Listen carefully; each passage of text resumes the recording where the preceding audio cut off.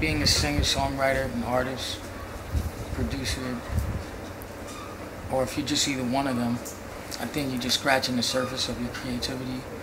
You're scratching the surface of how much you have inside of you. I think we're architects, we're creators, we, we can do more than just one thing. And the goal is to inspire and to create. And for so many years, I just wrote a lot of songs for a lot of people, a lot of artists, great artists, people that I looked up to, great new artists, the future of today. But I realized I was kind of abandoning my own story, my own testimony, my own gift, my own artistry.